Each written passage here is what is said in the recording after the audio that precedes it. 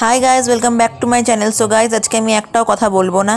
আজকে আমার মা একটা মাটন রান্নার রেসিপি শেয়ার করবে। আজকে তো তোমরা দেখেছোই আমার ভাই ফোটার ভিডিওটা, ভাই ফোটার ট্রিটের ভিডিওটা। তো আজকে সেই মাটনটাই শেয়ার করা হবে। সো লেটস গেট স্টার্টেড আর আজকে এক নো কথা বাইমি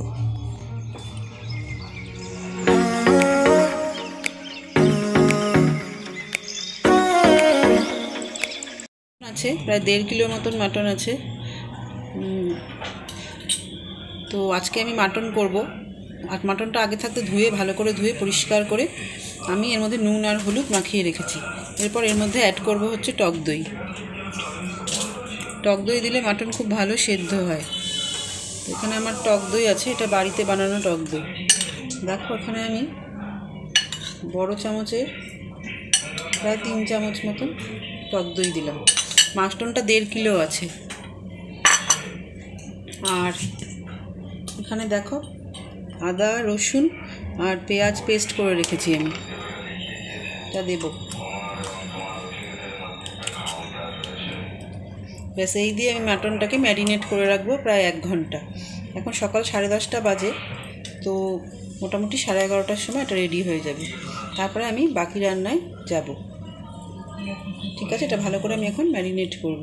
পেঁয়াজ, আদা, রসুন আর শুকনো লঙ্কা। তিনটে একসঙ্গে বাটা আছে।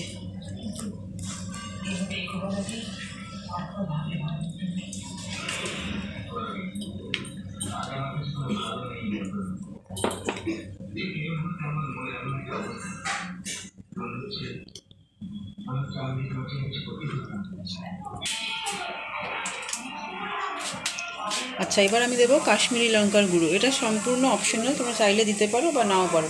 এটা শুধুমাত্র রঙের জন্য দিই। মাটনটা বেশ দেখতে হোটেলের মাটনের মতন লাল লাল হবে। জাস্ট এটা দেওয়া।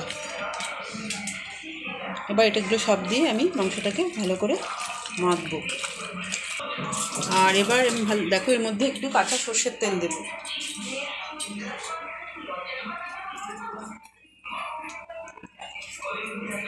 ওই এক কলা মতন।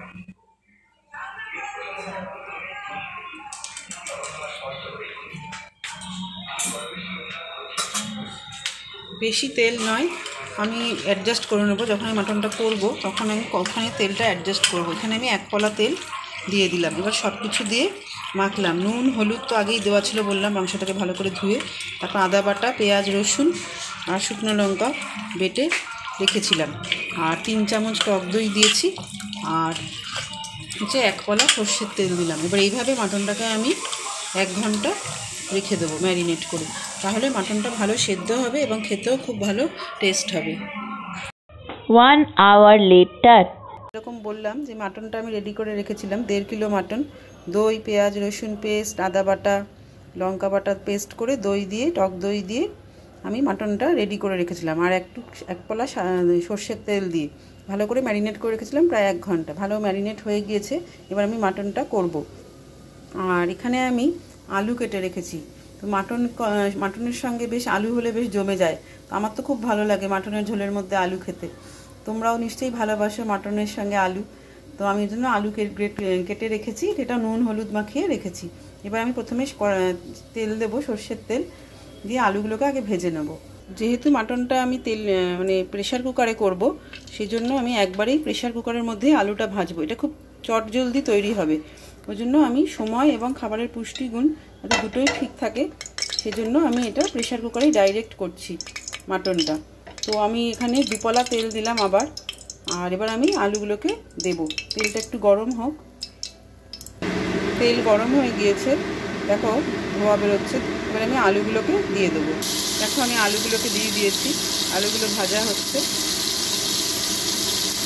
তো আমার আলুগুলো ভাজা হয়ে গিয়েছে।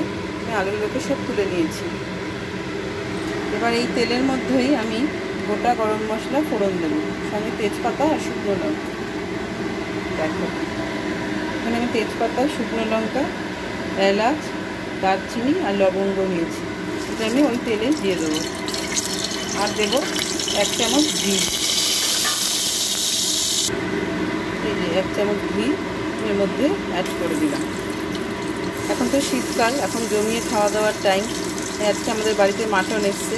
আর আমি যেভাবে মাটনটা করি, তোমাদের সঙ্গে সেই রেসিপিটাই শেয়ার করছি। এটাতে কিন্তু খুব কম সময়ে ঝটপট মাটনটা রান্না হয়ে যায়, আর খেতেও কিন্তু খুব টেস্টি হয়।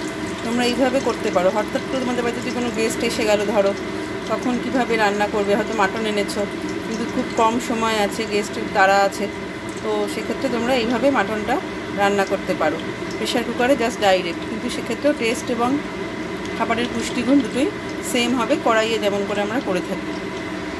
তেল ভালো করে গরম হয়ে গিয়েছে, আর ফোড়নও দিয়ে দিয়েছিলাম। এরপর আমি কেটে রাখা পেঁয়াজগুলো এর মধ্যে দিয়ে দেবো, দিয়ে ভালো করে ভাজবো। মানে পুরো লাল লাল করে ভাজবো না মানে মোটামুটি, যাতে পেঁয়াজের কাঁচা গন্ধটাও চলে যায় এবং বেশ পেঁয়াজগুলো মজে আসে।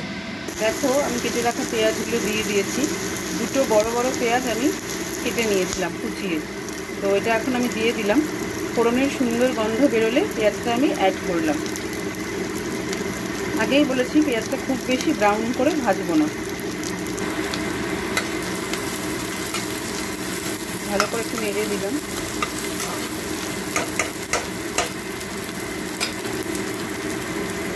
দেখো পেঁয়াজগুলো কিন্তু বেশ লাইট ব্রাউন হয়ে গিয়েছে। এবার এই স্টেজেই আমি মাটনটা অ্যাড করব মানে ম্যারিনেট করে রাখা মাটনটা অ্যাড করব। দেখো, আমি এখানে মাটনগুলো অ্যাড করে দিয়েছি। তো কিন্তু মাটনের যেটা ম্যারিনেট করেছিলাম যে পাত্রে, সেখানে দেখো মাটন ম্যারিনেট করার পরে যে দই, মশলার যে জলটা রয়েছিল, সেটা কিন্তু আমি অ্যাড করিনি।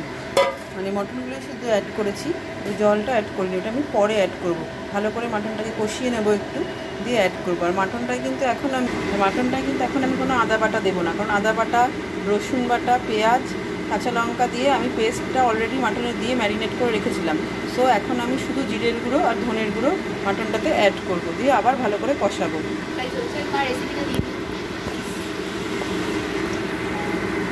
জিরের গুঁড়ো অ্যাড করে দিলাম। গুঁড়ো, ধনের গুঁড়ো সব অ্যাড করে দিয়েছি। আর আগেই বলেছি, আদা বাটা দেবো না, যেহেতু আগে ম্যারিনেট করেছিলাম। তো এবার আমি একটু ভালো করে নাড়াচাড়া করে মশলাগুলো প্রথম লিডটা দিয়ে একটু ঢেকে দিচ্ছি। সো দশ পনেরো মিনিট হয়ে গিয়েছে, তো আমি এবার লিডটাকে রিমুভ করে দেখি, দেখো কি সুন্দর গন্ধ বেরোচ্ছে মাটনটা থেকে। আর এবার আমি যে জলটা ম্যারিনেট করা ছিল মশলা দেওয়া আর দই দেওয়া, সেটা অ্যাড করে দেবো।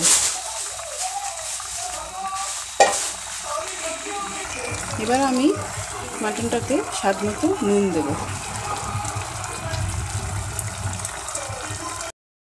মাংস নাড়াচাড়া করার জন্য কিন্তু হাতা কিন্তু বেস্ট খুন্তির চেয়ে হাতা বেশি কাজে দেয়।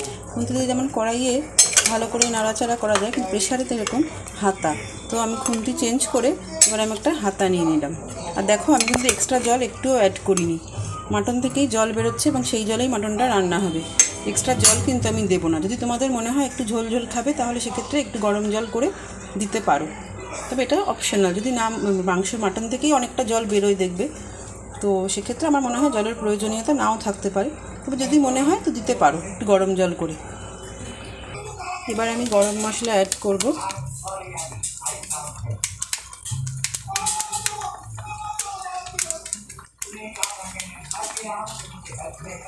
গরম মশলা অ্যাড করার পর ভেজে রাখা আলুগুলো আমি দিয়ে দিলাম। ভালো করে মিশিয়ে নাড়াচাড়া দিয়ে এবার আমি প্রেশার কুকারের ঢাকনা বন্ধ করে দেবো এবং স্টিমে বসাবো।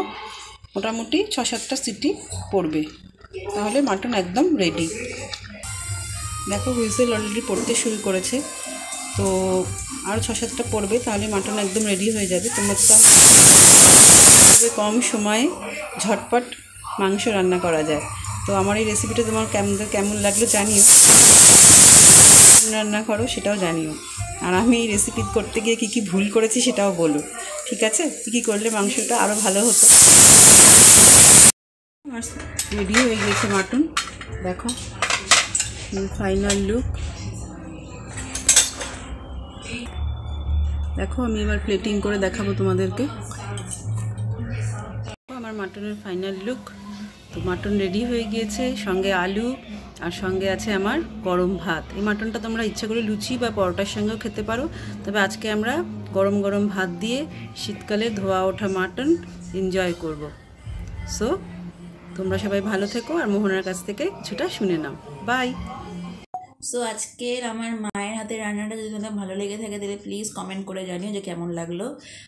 আর আমারও মায়ের হাতের মাটন রান্না দারুণ লাগে, কিন্তু আমি চিকেনটাই বেশি প্রেফার করি। সো আমি অনেক জায়গায় মাটন খেয়েছি, যেরকম দিল্লিতে হোটেলে। মাটন খাওয়া হয়েছিল ওটা দারুণ ছিল। তারপরে লখনৌতে গালাউটি কাবাব ওটাও হেভি ছিল। হেভি ছিল হেভি আর আর আমি যখন কলকাতায় যাই আমার মাসির বাড়িতে ওখান ওখানে ওরা বানায় হলো গোলবাড়ির কষা মাংস। ওটাও দারুণ হয় দারুণ হয়। আর হলো রাজস্থান। রাজস্থানে তো ওরা যে মাটনটা বানায় ওটাকে বানানো হয় ওটাকে বলা হয় লাল মাছ। ওরা ওটাকে স্পাইস দিয়ে যা সুন্দর করে বানায় ওটা মানে অসাম হ্যাঁ হ্যাঁ জয়সালমিরে ঠিক। জয়সালমিরেটা দারুণ।